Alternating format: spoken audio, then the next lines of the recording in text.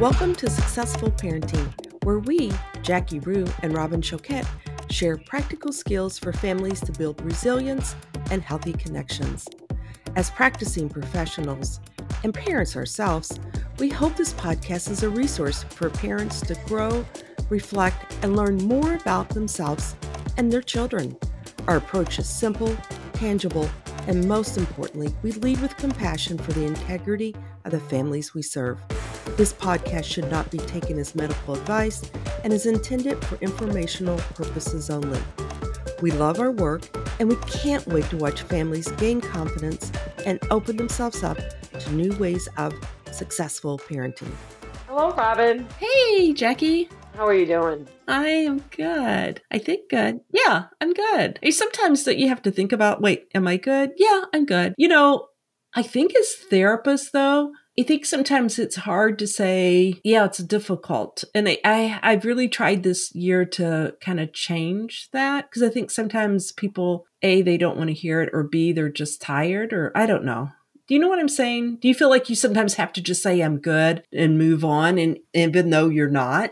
I'm not talking in a therapeutic relationship. I was just talking to someone. It, it's such kind of one of those just I don't want to say general questions, but it's almost like if if you're at a grocery store or at a store and someone says, "How are you?" and you stop and you know you go into a five minute yes. you know um, summary of how all the things in your life that aren't going well or all the things that are going well you're kind of wondering do people really want to hear this? You know sometimes i think that we do need to check in with ourselves and, and be honest about how we are. It is awkward sometimes in terms of what to share because every once in a while i will say to somebody how are you? and they they will say, well, actually, you know, I'm not doing really well. And, mm-hmm. you know, they'll stop. And, and I do, you know, I embrace those moments too, because I, I like when people are genuine and honest about what's going on. And, and I think really most of us aren't necessarily good, but we're both good and, you know, have difficult things going on. So right. I think it is definitely just kind of a generic question, but it's one that you know, as part of a greeting that you often feel like, do people really want to know? Right. And then I think as parents,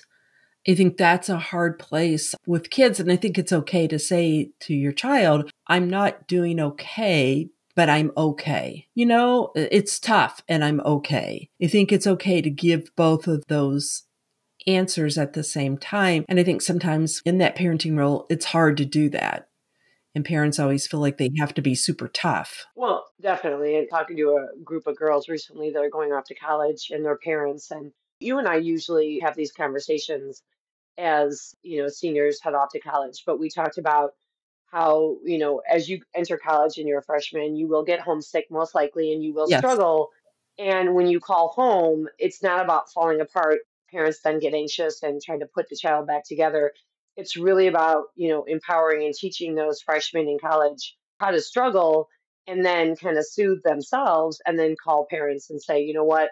I struggled but i was able to manage. I think so often parents kind of expect those calls of i'm in crisis i'm falling apart and then parents get overwhelmed and feel like they have to fix it versus you know really empowering the child to be able to manage and so we do a lot of kind of practice scenarios before college students go off to prepare parents that you will get these phone calls that you know your child's struggling. They will get homesick the first six weeks most likely. They will want to come home yes. but when they call you don't need to answer every call and answer every text because ultimately you want them to be able to kind of work through it themselves and talk about it later. Those parents that believe they need to be there to answer every phone call, even if children are younger, you know, I need to answer every phone call, be there for every text those children never have opportunities to really learn and gain confidence that they can manage it themselves. Right. And I think that goes to a big piece this season that we've worked on and talked a lot about is that resilience, right? And and that is that bounce back. And I think it's okay for them to call and say I'm having a hard time and I'm managing it or this is what I'm trying. I'm hoping that this is going to be helpful, or I'm trying this and it's really not. Do you have any suggestions for me? And I think that's the big piece of one is what is the child needing and helping them to identify what they need. And as you said, not always giving them the answers and letting them find that answer. And I think that's a big piece of the therapeutic process, right? We don't always give our clients the answers. We help them to find the answers. And that's much like in parenting is you help the child to find their answers and what matches their needs. Because when we're quick and we're anxious, we're quick to give them answers. It's usually about what we believe they need or sometimes it's even what we feel that we need, and that will be the answer we give the child when they're struggling. And I think that's been one of those themes that we've talked about our second season in this podcast. I agree. And I think the other theme that really has stood out to me is just connection and focusing on how do we really connect with our children, whether it's through, and I know at, at one point we talked a lot about, you know, just the impact of technology and social media and, mm-hmm. and having time where everybody, you know, deplugs. And we had many parents this season talk about they're not sure how to set boundaries with their children or they're not sure because the children are always tied up to screens and they don't know how to break them of that. But it really, I think, no matter what concerning behavior that our, our child might be exhibiting for us, it really is about connecting and having those relationships with them. And I was just talking to a father about this. You know, when you say, I want to spend more time, the child might say no, or the child might slam the door or say, I'm not going, especially if they're a preteen or a teenager. But it's more about, you know, continuing to find ways to connect. And if what you're doing isn't working, find something else. But, you know, you have to do it consistently, even if it seems like it's not working. Mm-hmm. Helping connecting and, and helping those relationships, I think has been such a huge piece of it. And, you know, when I think about our guests and, you know, all of the individuals that's joined us this year in our conversations, and I found them just to be so interesting, you know, I've learned so much from our guests. A common theme has been the relationships, and you will hear our guests talking about that in all different kinds of ways. It seems like relationships has been such a key piece of what those guests have been talking about. And I just love that because my motto has always been I become through my relationships. I like that a lot.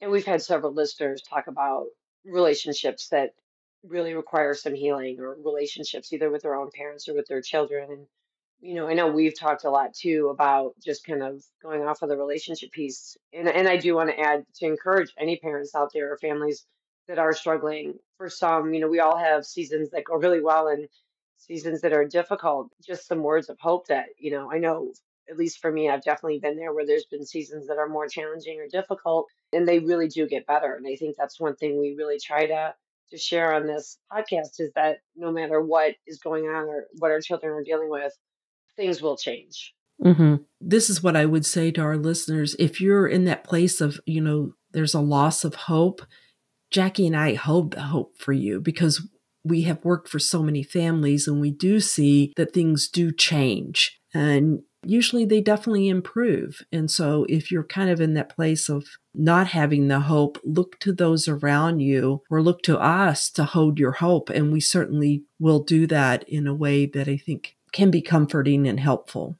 to families. Yes, I couldn't agree with that more. And yeah, I really liked this season. I think it was good and can't believe a whole year has passed.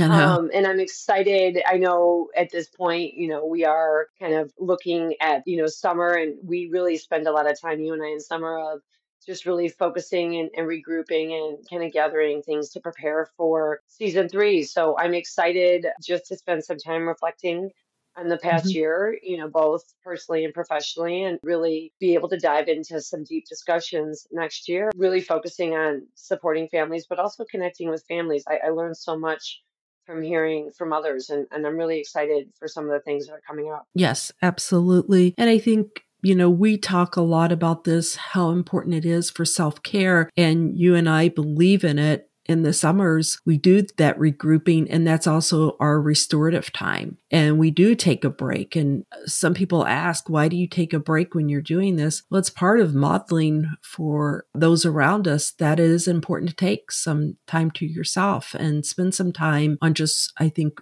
doing the things that help you to restore, connecting with others, and just really enjoy it. Besides, you and I love the summer. So I think that's always a good thing about taking these breaks. So I'm really excited. And it gives us an opportunity to prepare, as you said, you know, what's coming in season three. I'm excited for season three, and I can't wait for our listeners to come back. I couldn't agree more. And I appreciate everyone, and, and I think it's going to be good. And I think each year brings a different theme across the board. I think we work with so many schools too and agencies. And so, you know, just kind of staying up to date and taking a look at one of the things I think we'll be doing is taking a look and getting some feedback from all of our districts in terms of what challenges and also good things they saw this year so we can really come prepared for next year to share and you know bring some new insights. So and i always appreciate our conversations robin. I, I love working with you as you know and it, i think it's just so great to to work on this together. Yeah, same here Thank you so much. And thank you, listeners. We really appreciate you. Certainly reach out, successfulparentingplan.com, a uh, successful parenting plan at Gmail. Either way, you can connect with us, and we would love to hear from you if you have any suggestions or thoughts for season three. Yes, thank you. Mm-hmm. Bye-bye. Bye. Thank you for joining us, and make sure to subscribe and like us to catch our next episode, where we will take you on a journey to find new ways of successful parenting.